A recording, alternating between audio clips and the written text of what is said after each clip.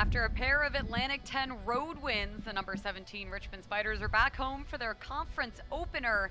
It's a rematch of the 2019 A10 quarterfinals as they take on the Duquesne Dukes. 24 now on the shot clock as Duquesne will get right past Delaney Galvin to tie it up at one. Big turnover for Richmond that led to a goal. That was Lindsey Frank for the Spiders. Now Richmond goes up three to one. Richmond will get in the way there, knock it loose. That was Maggie O'Brien. But doesn't wow. matter. They still get a shot. That's Alana Piano again, a name we keep hearing a lot. Mm-hmm. She is a great defender, as we said in the beginning of the game, but she can also shoot and score. she can shoot and score, and, and how about that fashion? Only four seconds left to the first quarter.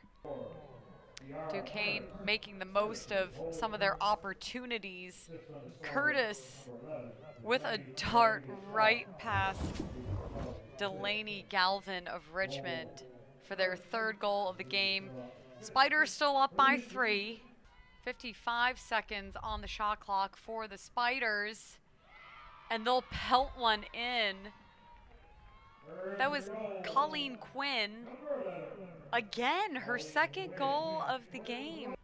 Marina Miller with the offensive rebound. Big. And Arden Tierney with a, a wraparound to the low right corner of the goal. What an impressive shot. Richmond up 11 to 4, wanting another goal here. And they get one. Unbelievable. We're back at Robins Stadium. Richmond leading 12 to 4 over Duquesne, and it's halftime here. Christina D'Angelo next to me. I'm Natalie Kalibat. Thank you for joining us. And Christina, we see that Richmond has this 13 to 4 draw control edge. If you're Duquesne, what do you need to do to reset here in the second half and earn those draw control wins? Well, if I'm Corinne, if I'm the coach at Duquesne, um, I'm really going to focus on trying to disrupt what's happening with Arden. So it seems like when the ball's on the ground, Duquesne has a better chance of getting in there. Um, and so I would probably work on trying to get that ball away from her, out of her cylinder, loose on the ground, trying to pick up those ground balls and you know have it going our way. Um, so that would be my plan. We see some pockets of what Duquesne can do, right? At the end of the first quarter, the clock is winding down, and they pelt one in. Yeah. They can get it done on both sides of the ball, on offense and on defense. What do they need to focus on here in, in, in, in both phases in the second half? I think when they have, you know, it's between the 30s, a lot of the mistakes and errors that are happening. So we're seeing them perform, you know, decently well on defense and then they're, you know they're getting the ball on offense and they're able to convert. But if they can't connect these passes through the midfield, you know, being a young team, they have to make sure they hang on to the ball. Possession is key. So if they can keep possession, I think they can do some damage. But right now, Richmond's just you know in there and they're able to get those 50-50 balls quicker at this time. And so I think that's Duquesne's struggle. So I would say possession's a big deal. You mentioned the youth of the team, Richmond. We've seen a lot of uh, women from, from all ages, from all freshmen to seniors, getting some of these goals. We take a look at these stats. That 13 to 5 draw control edge that they have is is absolutely incredible. You want to make sure it's balanced on the other side if you're Duquesne and Richmond with their saves 5 to 2. Delaney Galvin has been holding it down in the net for the Spiders.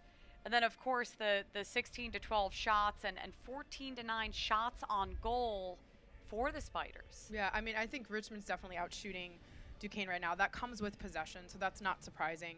But the, you know, I do like their next play mentality. They're taking a shot, it doesn't work out, they're right back at it. Or you know, they're making an error on offense, they're getting the ball back, they're right back at it. So that mentality is definitely um, it's awesome, and so that's something Duquesne has to match right now. So they just have to keep getting in there. Um, you know, that being Duquesne, they have to keep getting in there, and they need to have that next play mentality.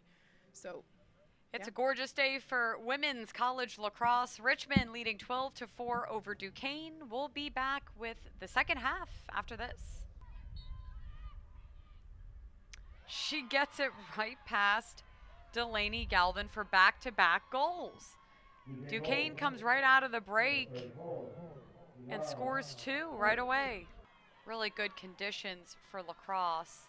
A really impressive Scoop and sprint by Brittany Wright. You can see her speed as she was trotting down the sidelines. It looked like Brittany's been waiting for that run all game. She's Yeah, just been waiting and she got it. She's so fast, and there is another Richmond goal.